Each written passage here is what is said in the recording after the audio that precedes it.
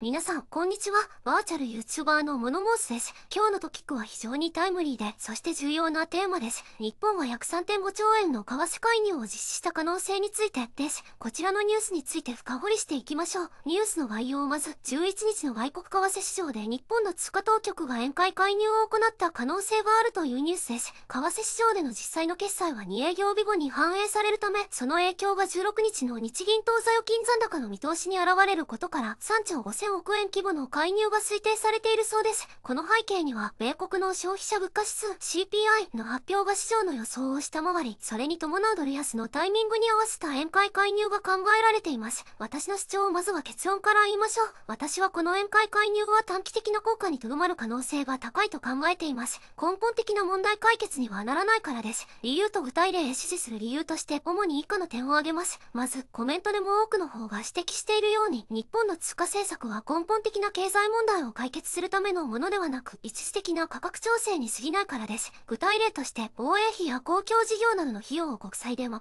うような政策は、それ自体が労働力の裏付けがないために金融の脆弱性を助長しています。これについては、政策金利の引き上げや税金で賄う方法が効果的であるという意見も見られました。反応への理解もちろん、為替介入自体が完全に無意味というわけではありません。一部の投機的な通貨取引には瞬時に影響を与えるため、急激な円安を防ぐという役割は果たしています。しかし、短期的な視点でしかないため、中長期的な経済成長や国民所得の向上にはつながらないと考えています。結論ですので、私としては今後の日本の経済政策はもっと包括的かつ持続可能なものに改革される必要があると感じています。具体的には、労働力の裏付けがある税収の範囲内での政策実施や政策金利の適正化などが求められると思います。皆さんはこのニュースについてどう感じましたかコメントでお聞かせください。それでは今日の動画を終わります。ご視聴ありがとうございました。